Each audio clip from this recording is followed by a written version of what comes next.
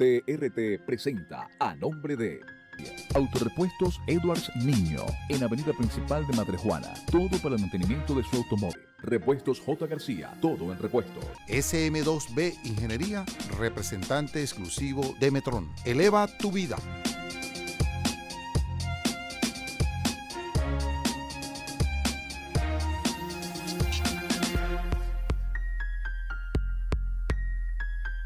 Bienvenida familia emprendedora a su programa Encuentro Empresarial.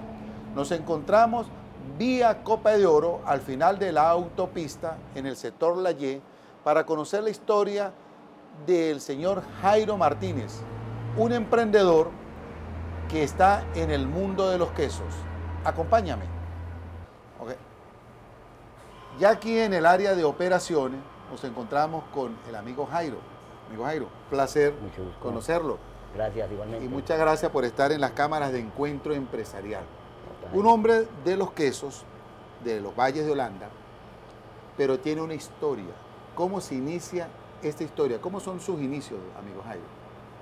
Eh, lo que es de los quesos, hace 12 años, porque aquí teníamos un abasto.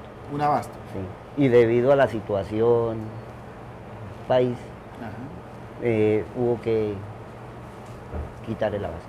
Quitar el abasto. Pero ese abasto, ¿cómo nace? ¿Cómo nace en sus inicios aquí en Venezuela? ¿Eras un hombre de muchísimo capital, de muchísimo dinero o empezaste fue con mucho esfuerzo? ¿Y qué te dedicabas cuando llegaste aquí? Yo aquí a Venezuela llegué de obrero. Obrero raso, eh, ayudante de construcción. Y, ¿Y a dónde llegaste? ¿En la casa de? Eh, o sea, a la casa del señor Maximino Duarte. Y con él me emprendí después de que dejé de trabajar con él, cuando yo me inicié, eh, me independicé, él me ayudó. Siempre sale una mano de Dios, una ayuda, un ángel que nos apoya a todos. Claro que sí, así es. y todavía conservamos con esa familia la amistad, digamos que parentesco, porque nos hemos familiarizado, nos hemos hecho familia. Y pues... ¿Y cuando se independiza, amigo Jairo, se dedica a qué? ¿Con el abasto o a qué se No, eh, una venta de verduras. Una venta de verduras. Y se puso una ventica de verduras. Me, un amigo me, me alquiló el terrenito y una ventica de verduras, poco a poco.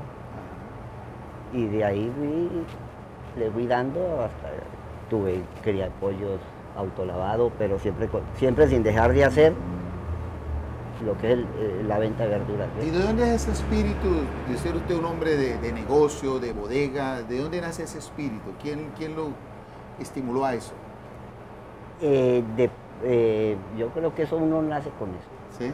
Yo creo, porque desde pequeño, a los ocho años, yo me interesaba siempre por el, asunto de las ventas, el arte de la venta.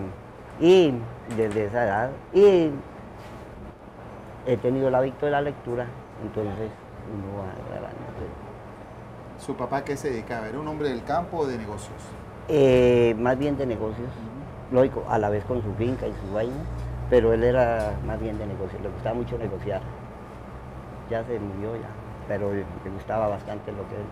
Negocio tuvo, después tuvo su negocio, su, tienda, como se dice por allá, y carnicería, yo le trabajé carnicería allá y todo.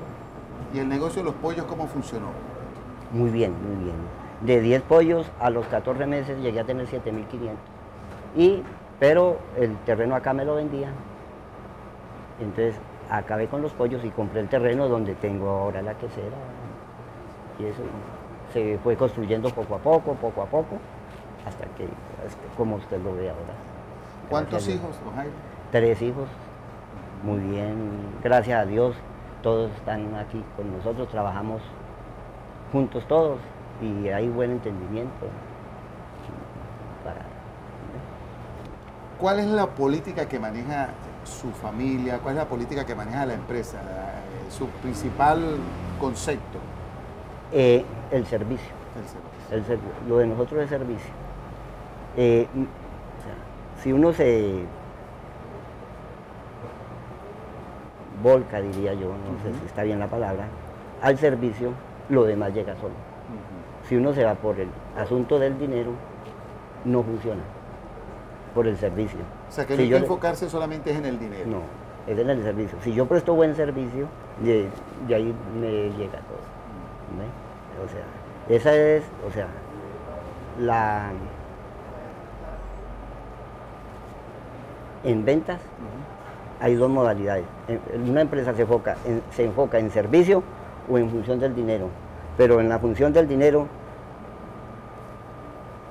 eh, no, diría yo, no funciona muy bien ahora por el asunto de la tecnología. Cualquiera agarra un teléfono, tal, tal, busca precios en cualquier lado, tal, esto.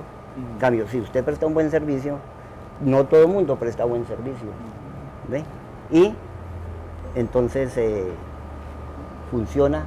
eh, con este, la función del servicio, va uno, de- por decir algo, a la fija. ¿ve? Me hablaba fuera de cámaras que el código de honor, ¿qué es, qué, qué es eso? El código de honor es hacer lo que se tiene que hacer, ¿verdad? Sin, sin represalias, sin estar, Sin buscar excusas. sin buscar excusas, exactamente. Entonces, cada quien aquí tenemos nuestro código de honor para funcionar. Hacer, sabe qué es lo que tiene que hacer, independientemente de cómo esté la hora que le toque que hacerlo. Lo hace. De los tres hijos, tenemos aquí al mayor, el Así. otro está ingeniero, entiendo, Sí, ingeniero de sistemas. en sistema, ya trabajando para la empresa privada, Sí. y el más pequeño, ¿a qué se dedica el pequeño? Eh, sale este año de quinto ya de Bachiller. de- inclusive está haciendo el, trabajo científico, Es un trabajo científico. el trabajo científico sobre los quesos. Y, y le estamos ahí orientando sobre orientando. En el próximo segmento seguiremos conversando con esta interesante empresa que está aquí, Vía Copa de Oro, quien nos ha enseñado a degustar el queso en sus diferentes versiones.